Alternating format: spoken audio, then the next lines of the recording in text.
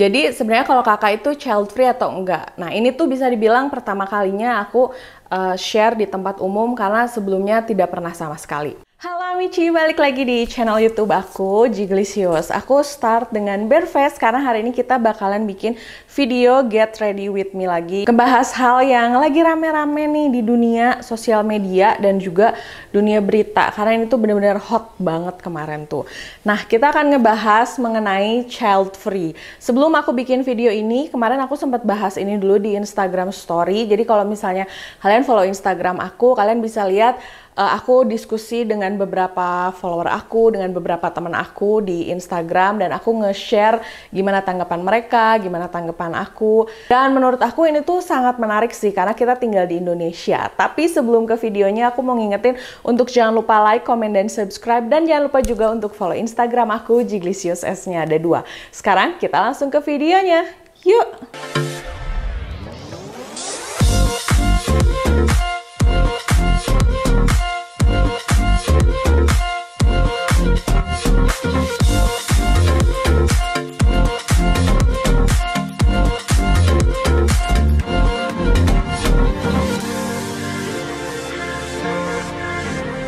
Oke, kita langsung aja untuk primer. Aku masih setia nih pakai Lux Crime dan sudah hampir habis, udah setengahnya. Jadi yang pertama bikin heboh tentang child free ini adalah Gita Saf. Dia subscribernya tuh udah satu juta dua ratusan lebih lah. Sebenarnya sebelumnya itu di sosial media, terutama di YouTube, udah banyak yang bahas mengenai perempuan yang tidak punya anak atau pasangan yang memutuskan gak punya anak. Itu udah banyak sih yang bahas sebenarnya di YouTube. Aku sering nemu orang Indonesia juga Cuman mungkin karena followernya tidak sebanyak Gitasaf, jadi nggak direspon sama seluruh Indonesia ya. Tapi kan Gitasaf ini menurut aku cukup berpengaruh dengan subscriber yang banyak. Dan dia juga termasuk idola banyak orang karena dengan opini-opini dia yang smart dan emang pinter gitu orangnya. Jadi ini bikin heboh se-Indonesia. Oke setelah itu aku akan pakai foundation dan aku pakai BLP kita akan bahas dulu cerita dari Gitanya ya karena dia yang paling pertama kayak mempopulerkan inilah ibaratnya. Jadi setelah kita ngomong dia memutuskan untuk child free, mulai banyaklah tuh uh, akun-akun yang membahas tentang si child free ini dan alasannya kenapa. Kalau dari kita sendiri sih alasannya ya memang karena dia memilih pengen berdua aja katanya sama suaminya dan dia menganggap punya anak itu adalah tanggung jawab yang cukup besar dan ada ketakutan nanti kalau misalnya sudah besar malah bukan akan memberikan kebahagiaan lah malah memberikan luka buat si anaknya dia sih bilangnya kayak gitu. Aku uh, baca-baca juga di berbagai media karena dia kan di interview juga ya. Nah dari situ mulailah banyak orang yang ikut merespon bahwa katanya tuh Gita sekuler lah terus kebebasannya kebablasan lah. Karena kan dia kuliahnya di luar negeri dan sebelumnya juga dia banyak membahas tentang kehidupan dia di luar negeri kan. Oh, dan satu lagi sebelum aku mulai ngomong panjang mengenai hal ini, yang paling pertama Hari ini kita akan sharing aja seperti biasa. Dan yang kedua, aku membahas ini di luar konteks agama ya. Karena pertama, kalau agama itu tidak bisa didiskusikan dan nggak bisa didebat. Mau gimana pun ya kalau misalnya kalian mempercayai agama itu, kalian meyakini itu, ya itu nggak bisa dikonsultasikan lagi udah itu udah harga mati ya jadi kalau misalnya pembahasannya secara agama kita skip aja nah kemarin juga aku baru tahu nih dari salah satu follower aku kalau ternyata uh, ada akun-akun yang memang membahas tentang child free dan seolah-olah kayak mengkampanyekan child free. Nanti aku akan bahas mengenai hal ini ya. Nah setelah itu aku buka question box, aku nanya kalian punya anak enggak? Uh, kalian punya anak atas keinginan sendiri atau keinginan lingkungan? Nah setelah itu aku pakai concealer, ini tetap pakai makeover. Nah terus aku juga sempat nanya, apakah menurut kalian perempuan itu boleh child free harus punya anak? Ini lucu sih kalau pertanyaan ini ya. Kebanyakan kalau yang menjawab kebebasan itu orang-orang yang sudah punya anak dan orang-orang yang umurnya tuh kayak sekitar 30, 35, tapi udah punya anak gitu rata-rata. Nah, yang menjawab harus punya anak itu rata-rata justru orang-orang yang dari fotonya tuh masih kayak anak sekolah, belum nikah, masih muda banget dan Uh, kalau enggak yang umurnya menurut aku udah kayak 40 45 lah karena aku ngelihat berdasarkan foto ya. Dan itu kayak tipikal hampir mirip semuanya kayak gitu. Uh, aku nanya buat kalian yang punya anak alasannya apa? Uh, memang beberapa orang banyak yang bilang ini untuk bedaknya aku pakai Maybelline. Banyak yang bilang menjawab di question box itu katanya uh, untuk punya anak itu karena agama. Tapi ada juga yang merasa bahwa udah berdua sama suami ingin lebih bisa menyayangi, ingin meneruskan keturunan. Katanya ada juga yang ingin menurunkan ilmu-ilmu yang dipunya selama hidup. Terus yang lucunya ada yang jawab gini, karena suami aku tuh pinter dan ganteng, aku tuh pengen bikin uh, orang yang kayak dia juga yang which is pasti punya anak kan. Itu lucu sih menurut aku. Terus ada juga yang bilang bahwa ini alasan tersosweet aku pengen nanti setelah aku uh, tua ada orang yang menyayangi aku seperti aku sayang sama ibu aku. Itu so sweet banget menurut aku.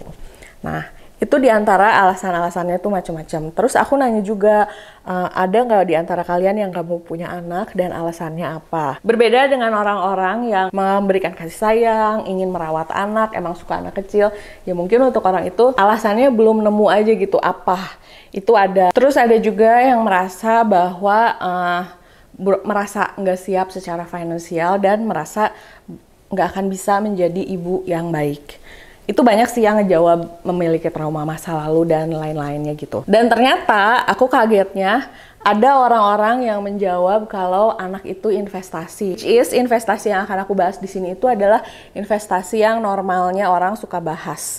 Jadi buat mereka kalau misalnya punya anak itu supaya nanti kalau mereka udah tua ada yang ngebiayain, ada yang ngerawat dan kalau sakit ada yang ngebiayain. Dan menurut aku jawaban kayak gitu cukup bikin shock sih karena yang jawabnya tuh masih kayak muda gitu. Which is nanti kalau orang-orang kayak gitu tuh akan menjadikan anaknya sandwich generation. Sandwich generation tuh gini, ini anak kalian nih. Nah, dia bekerja untuk membiayai orang tua dan dia kan nanti punya keluarga sendiri nih. Keluarga sendirinya itu punya anak dan istri kan. Nah, jadi dari penghasilan dia itu harus dibagi dua gitu loh. Makanya seperti sandwich gitu. Dia ada di tengah-tengah posisinya. Ada juga yang bilang, "Aku takut punya anak karena sekarang ngebiayain orang tua dan adik-adik. Aku takut kalau punya anak aku nggak bisa maksimal," kata dia gitu. Karena tanggung jawab aku ngurus orang tua dan adik-adik aja udah cukup berat dia ngerasanya kayak gitu. Untuk eyeshadownya aku pakai SK dan yang SK ini tuh yang Wonder Woman. Jadi sebenarnya apakah wanita itu harus punya anak? Ini kalau menurut pendapat aku pribadi ya. Menurut aku itu setiap orang punya kebebasan. Aku nggak hanya bahas tentang perempuan yang harus punya anak atau uh, perempuan yang boleh nggak punya anak. Karena anak tuh kan dibikinnya sama dua orang ya, istri sama suami, pasangan gitu. Nah, menurut aku setiap orang itu berhak untuk memutuskan apakah dia mau punya anak atau enggak, termasuk laki-laki. Karena jangan salah, setelah aku dewasa, ternyata banyak juga laki-laki yang memutuskan nggak pengen punya anak nggak mau sebenarnya punya anak. Cuman mungkin memang bedanya kalau si laki-laki ini jarang berpendapat untuk urusan ini dan kayak lebih baik menutupi aja. Dan kita tuh nggak punya hak untuk kayak ngejudge kamu tuh harusnya punya anak, kamu tuh nggak boleh nggak punya anak, bla bla bla segala macam. Dan ternyata banyak juga teman-teman aku yang sependapat yang bilang kalau ya bebas sebenarnya setiap orang mau punya anak atau nggak mau punya anak. Nah terus yang berikutnya ada juga yang bilang katanya kalau dia kurang setuju karena pertama agama dan yang kedua harusnya tuh bisa meneruskan keturunan lah, bisa membagi kasih sayang. Dengan jujur dia ngomong kalau dia tuh rada kurang suka sama orang-orang yang uh, ngomong tentang child free. Ada juga orang yang berbeda ngomong memang tidak suka dan nggak setuju sama orang-orang yang ngomong child free karena ngapain sih child free itu dikempenkan kayak seolah-olah ngajak-ngajak kan itu tuh jadi membuat orang yang kayak masih bingung untuk memutuskan nggak punya anak. Nah ini menurut pendapat aku pribadi ya, child free itu bukan hal yang harus dikempenkan sih yang pertama. Karena menurut aku orang yang sampai memutuskan nggak mau punya anak itu pasti mikirnya lebih lama lebih deep daripada orang yang mau punya anak. Ini berdasarkan yang aku temui ya. Sampai membahas aku tuh membiayai orang tua aku atau aku tuh punya trauma mendalam dikasarin orang tua. Aku tuh broken home dengan banyak cerita-cerita drama jadi aku takut. Dan menurut aku saat orang memutuskan untuk child free itu, dia tuh udah mikirin semua konsekuensinya. Yang pertama, konsekuensi dimusuhin orang tua itu udah pasti karena uh, di zaman sekarang orang tua yang orang tua orang-orang seumuran aku tuh pasti masih yang mikirnya ya lu kalau udah nikah tuh harus punya anak nggak usah gitulah. Aku aja bahkan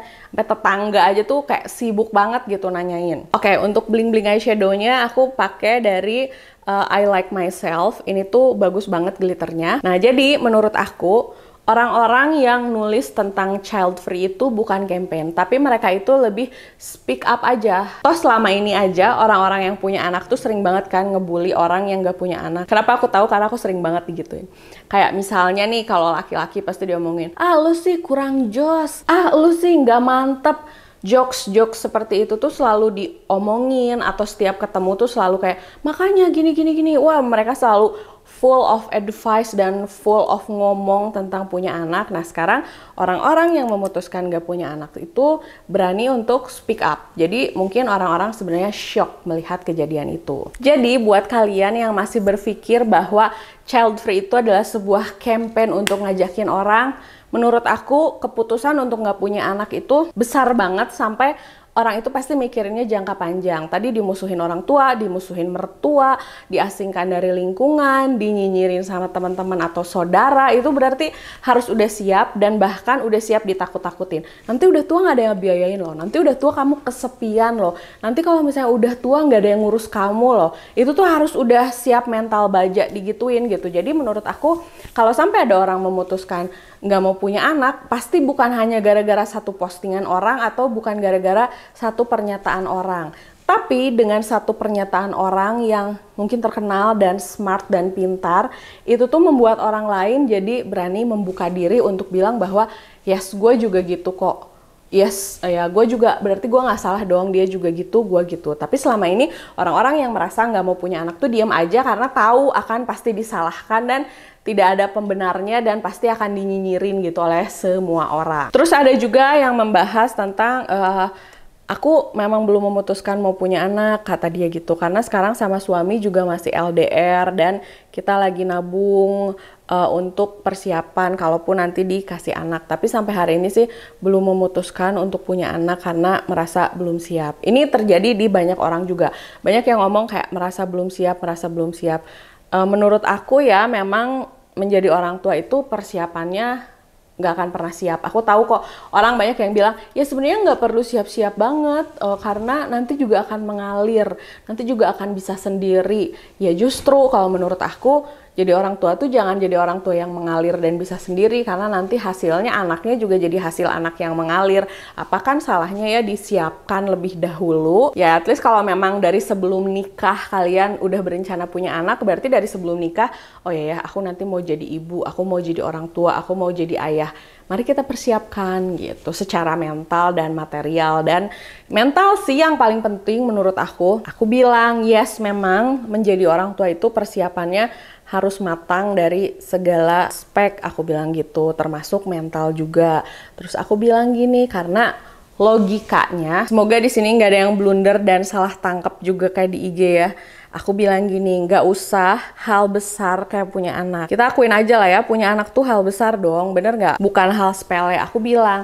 Karena memang nggak usah hal besar kayak anak. Contoh aja hal sepele. Ini aku bilang ya contoh hal sepele kayak beli handphone yang masa penggunaannya itu 2-3 tahun. Misal kalian mau ganti handphone di tahun depan, dari sekarang tuh udah disiapin kan duitnya. Dari sekarang tuh udah ngitung nih, oh harga handphonenya misalnya 2 juta. Berarti kalau tahun depan mau ganti per bulan aku harus nabung berapa nih? Oh nanti handphone lamanya mau aku jual atau mau itu planning kan perencanaan. Nah menurut aku hal sepele kayak itu aja disiapin gitu. Kebayang nggak ini anak yang harus diurus selama 20 tahun. Masa iya sih kita nggak bikin persiapannya matang-matang? Aku nulis gitu. Tapi ada yang respon malah gini, Makanya itulah pikirannya tuh HP canggih-canggih mulu. Buat apa punya HP canggih kalau misalnya nggak punya anak? Anak tuh penentram jiwa. Kan aku nggak bilang mending HP daripada anak. Mending HP canggih daripada anak. Aku kan gak bilang gitu. Aku bilangnya hal sepele kayak HP aja disiapin, ya berarti punya anak juga disiapin dong ya kan kalau misalnya kayak gitu debatnya jadi nggak nyambung gitu dan ternyata ada juga beberapa orang yang bahkan mereka cerita kalau mereka belum nikah dan nggak mau nikah tapi nggak banyak sih sekitar empat orangan lah bilang kalau kalau gue sih memang nggak mau nikah tapi gue pengen punya anak katanya gitu. Mungkin nanti suatu saat gue akan mengadopsi anak. Tapi ada juga yang masih single, belum nikah, mau ngadopsi, tapi takut juga sih dengan uh, ucapan orang-orang. Ya karena bingung sih ya kalau di Indonesia itu orang-orangnya masih kepo kayak contoh aja begitu ada orang yang ngomong child free semua orang langsung kayak ngurusin, semua orang langsung kayak marah gitu. Nah akhirnya ada yang nanya kalau kakak sendiri gimana kak? Apakah kakak child free atau enggak? Aku nikah sama suami aku tuh tahun 2016 sampai hari ini 2021 belum dikasih anak juga tapi memang sudah dari beberapa tahun lalu, kalau nggak salah satu tahunan setelah menikah, aku sama suamiku memang tidak berencana punya anak. Nggak berencana punya anak ya, tapi kalau misalnya nih tiba-tiba besok atau lusa aku hamil atau dikasih anak, aku akan ngerawat, aku akan terima dengan sukacita. Tapi kalau misalnya ditanya rencana punya anak atau enggak sih enggak jawabannya uh, itu aku ngobrol sama suami tuh awalnya tahun pertama kita nikah kita memang kayak oh nanti kalau punya anak punya anak. Tapi seiring berkembangnya waktu gitu kita sering saling sharing saling cerita sampai akhirnya kita membahas bahwa ternyata kita berdua tuh memang lebih seneng hidup berdua. Aku juga baca kayak Gita Saf waktu ditanya, ya karena pengen hidup berdua aja. Sampai kapan pun gak mau punya anak. Karena sudah merasa cukup berdua. Nah, aku pun merasa kayak gitu. Mungkin dibandingin hidup aku selama dari kecil, aku tuh merasa kayak ini tuh momen hidup gue yang paling bahagia nih sekarang tuh. Dan yang paling utama, aku selalu merasa aku berhutang banyak kebahagiaan untuk diri aku sendiri. Sehingga di saat aku sudah mulai dewasa, aku merasa aku harus membahagiakan diri aku sendiri dulu dan ternyata suami aku pun saat itu sama. Dia merasa diri dia tuh berhak bahagia dulu gitu dan dia ngerasa gue mau membeli semua yang gue inginkan, gue mau mencoba pengalaman yang ingin gue rasakan dulu sampai akhirnya kita sampai kesepakatan ya udah no planning gitu. Nggak ada rencana untuk punya anak. Biasanya kalau aku ditanya sama orang sama keluarga dekat ya pokoknya sama orang yang baru ketemu gitu yang baru akrab-akrab dikit lah. Biasanya aku selalu jawab oh iya doain aja. Karena jawabannya itu pasti selalu berhubungan dengan Oh belum punya anak, coba deh diurut. Coba minum ramuan ajaib ini, coba minuman teh ajaib ini. Oh mungkin harus begini-begini, oh harus bla bla segala macam. Itu sebenarnya aku udah udah kayak males banget. Jadi kalau misalnya selama ini kalian suka ketemu aku dan kalian memberikan tips-tips itu, percayalah itu tuh gengges dan kalau nanti ke depan kalian ketemu aku lagi, oh jangan ngomong kayak gitu lagi lah. Karena ini aku udah ngomong ya Aku sendiri sama suami nggak ada rencana. Aku pernah cerita sih sama beberapa temen aku. Aku bilang aku nggak punya planning untuk punya anak. Aku bilang gitu dan pertanyaan orang-orang itu mostly rata-rata gini. Terus suami lo gimana? Kan punya anak tuh berdua ya. Dan aku bilang ya kalau aku sih sama suami berdua memutuskan untuk nggak punya anak aja karena ternyata sampai sekarang pun kita benar-benar ngerasa bahagia gitu dan menurut aku tuh kebahagiaan itu nggak bergantung sama punya anak atau enggak karena banyak banget yang kayak nyumpahin kalau misalnya aku punya anak hidup aku tuh nggak akan bahagia selamanya. Dan aku punya satu cerita menarik ya. Ada satu teman aku yang menikah terus dua-duanya lagi produktif banget bekerja dan mencari uang. Temen aku tuh si ceweknya ya tapi dia sampai cerita hampir setiap hari mertua gue tuh datang ke rumah katanya e, ngajak ngobrol. Awalnya tuh ngajak ngobrol tapi lama-lama tuh selalu datang ke rumah nangis minta cucu.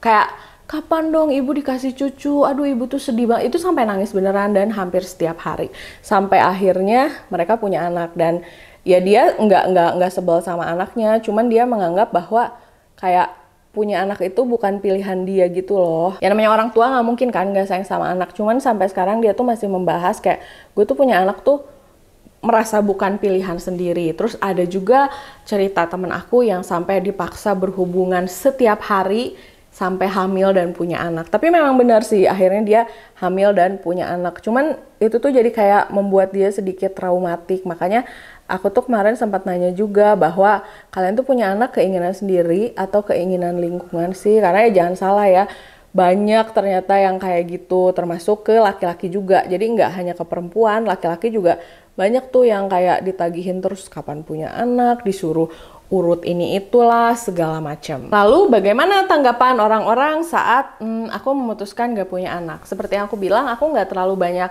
nge-share tentang ini, jadi nggak terlalu banyak juga orang yang terlalu ngerecokin lah istilahnya ya. Tapi kalaupun sampai ada orang ngerecokin, kemarin-kemarin itu aku cuma sampai tahap oh iya doain aja ya.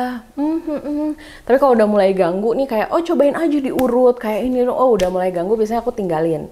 Aku main handphone terus aku tinggalin. Dan menurut aku punya anak tuh bukan lomba ya yang sampai kayak kok kalah sih sama si A? Si A anaknya udah tiga loh. Kok kalah sih sama si C? Si C tuh cucunya udah empat loh. Masa aku belum dikasih cucu? Kok kalah ya kan siapa yang jadi lomba? Dan ini ada kejadian lucu aku pernah diomongin kayak gitu. Kayak kok kalah sih sama si A? Si A anaknya udah dua loh udah sejodoh perempuan sama laki-laki. Ini kapan dong? Jangan mau kalah. Karena aku udah gedek banget saat itu. Aku jawab sambil senyum gini ah enggak tante enggak kalah dong tante. Dia kan punya anak dua. Aku udah punya rumah. Nah dia belum. Jadi kan seri lah tan sama-sama gitu. Aku sambil senyum ngomongnya. Terus dia kayak mau marah mau nyerocos tapi kan aku ngomongnya senyum. Dan udah setelah itu dia nggak pernah ngomong gitu lagi sama aku.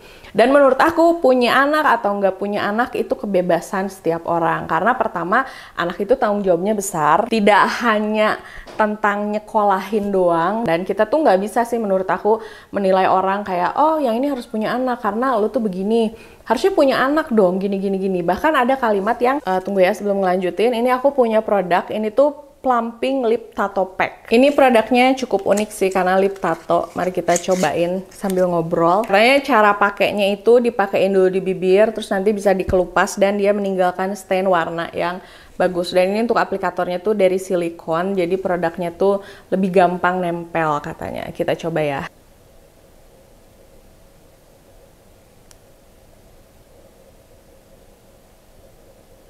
Ini warnanya agak orange, tapi semoga nanti hasilnya tidak seneon ini ya.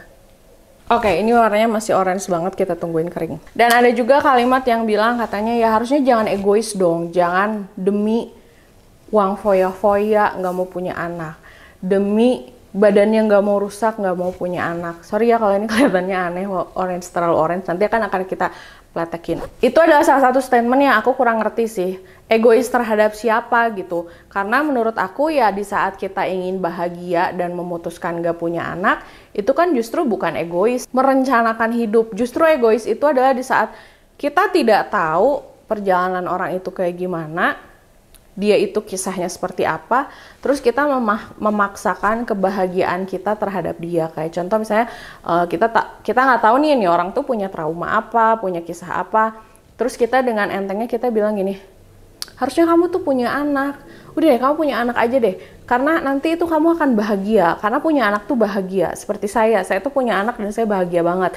Jadi kamu harus punya anak. Menurut aku itu baru egois. Dan inget ya, standar bahagia orang itu beda-beda hal sepele aja standar bahagianya. Ada orang yang mau bahagia tuh harus traveling.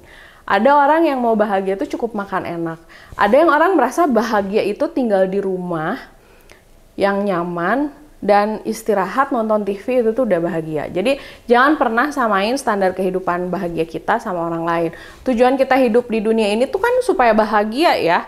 Jadi jangan sampai di saat kita merasa ya gue punya anak tuh bahagia banget, lo harus juga dong, nggak kayak gitu. Setiap orang tuh punya pertimbangan masing-masing. Jadi menurut aku ya sekarang tuh kayak balik lagi gitu loh mendingan terserah masing-masing. Toh selama ini dia nggak punya anak dia nggak punya anak juga nggak ngerugiin aku kok. Dia punya anak aku nggak perlu ngebiayain anaknya. Dia nggak punya anak juga sama nggak perlu ngebiayain anaknya. Dia nggak punya anak juga aku nggak perlu ngerawat dia. Dia dia punya anak pun nggak ada urusannya sama hidup aku. Jadi aku sekarang lebih mikir ke situ gitu. Jadi marilah kita menjadi orang yang tahu gitu bahwa orang tuh sekarang udah merdeka untuk punya pilihan untuk merdeka punya keinginan yang menurut mereka membahagiakan sendiri. Tidak perlulah memaksakan kayak ini tuh sumber kebahagiaan, kamu tuh harus punya anak karena hidup kamu tidak akan pernah bahagia seumur hidup kalau kamu tidak punya anak. Enggak kayak gitu ya. Menurut kalian mengenai fenomena child free ini gimana sih? Karena ini tuh lagi rame banget, heboh banget. Semua orang ngomong dari mulai artikel gosip sampai artikel yang uh, smart yang kayak berpendidikan itu membahas. Nah, kalian bisa tulis di kolom komentar, oke? Okay? Nah, jadi ini hasil makeupnya dan sekarang aku lagi mau siap-siap pergi.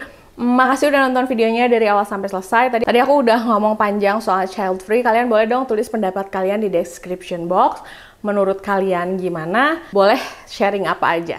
Makasih udah nonton videonya dari awal sampai selesai. Jangan lupa untuk like, komen, dan subscribe. Dan jangan lupa juga untuk follow Instagram aku, Jiglisius S-nya ada dua. Sampai ketemu di video berikutnya. Dah!